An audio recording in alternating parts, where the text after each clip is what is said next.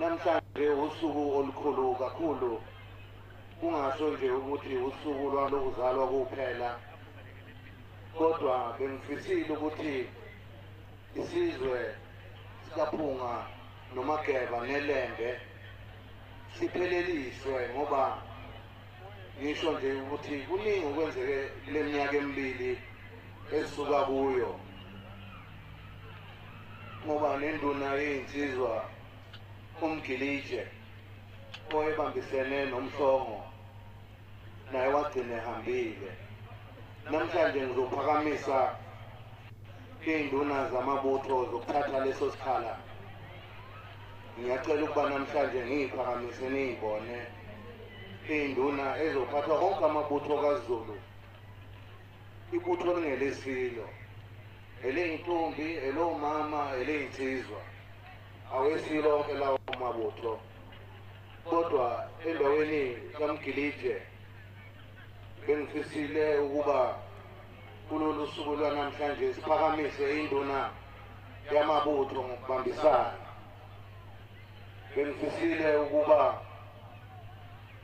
ubaba umhlongo nomntwana uvanana wakwaminya be- be- besondele phambili.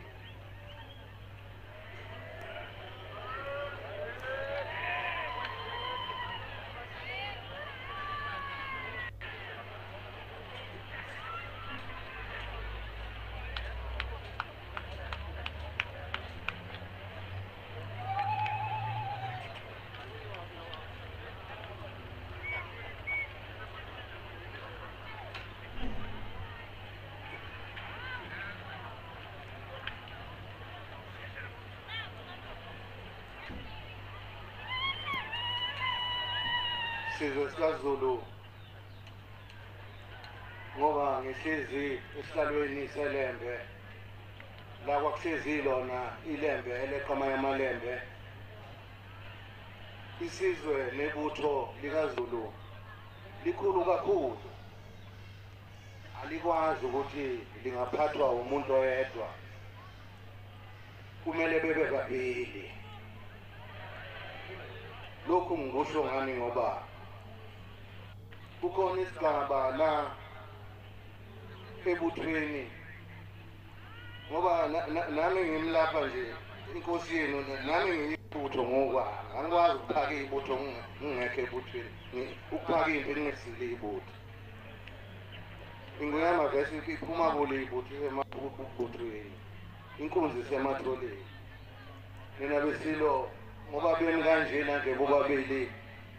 Usuku olukhulu namhlanje es- es- esizweni ukuba sivale ikhasi longasekho umgil- umgilije naye owayebambe lesi sikhundla esithwele kanzima kodwa sithe kulesi sigaba nalolu suku lwanamhlanje siphakamise ubaba umhlongo nomntwana wakwaminya ukuba bebambisane ngoba khona isigaba la emabuthweni.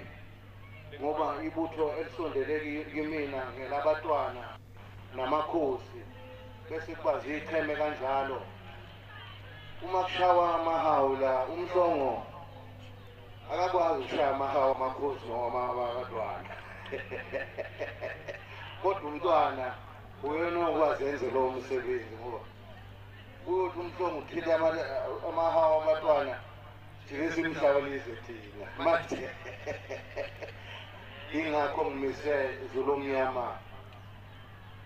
Lokhu namhlanje ngicela ukuba nibamukele ibutho likaZulu selinawo manje. Umhlahlandlela nendlela eya phambili kusuka egoli kuze kuyoshaya kuso isifunda sethu kwaZulu Natal la khona khona amabutho kaZulu. Ngicela ukuba ngibahalalisele namhlanje. Kulo msebenzi omkhulu nonzima kangaka nina besizwe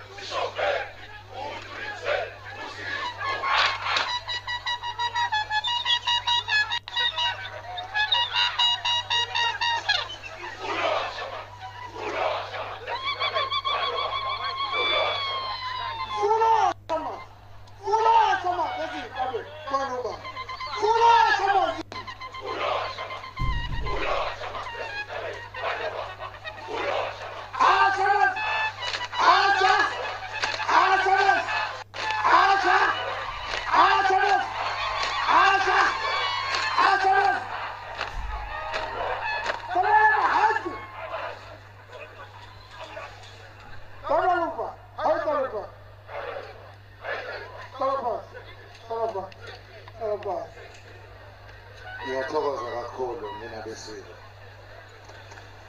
sengivala Zulu mnyama ngiyazi ukuthi usuku lwami lokuzalwa namhlanje. Isipho sami yiso lesi engiqeda kusithula kunina.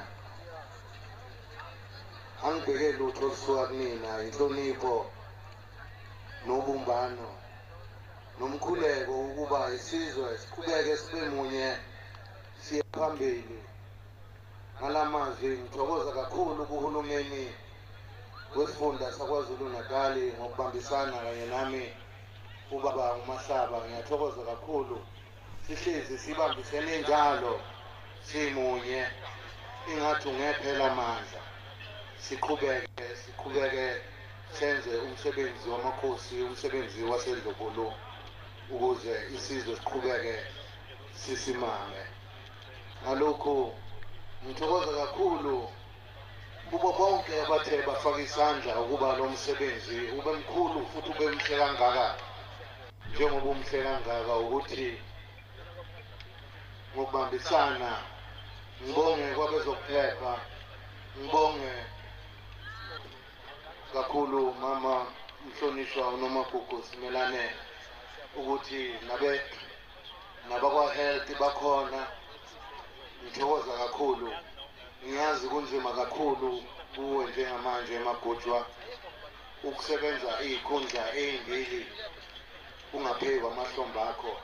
Kodwa sikanye nawe emkhulekweni ukuthi sizobambisana ngicela nje nina besilo isipho nje sisodwa kini nonke ngoba nihlangene ningiculele nje u-happy birthday. Ngicela ukuthi dlukulu dlukulu ngisacela dlukulu uzocula uzongiculela wena wendlovu. Wena wendlovu. Ayethe. Sikhulumile umculo wabathetha imanga bese kulungisa u-dj ukucela udlunkulu wosizwe awenze lo msebenzi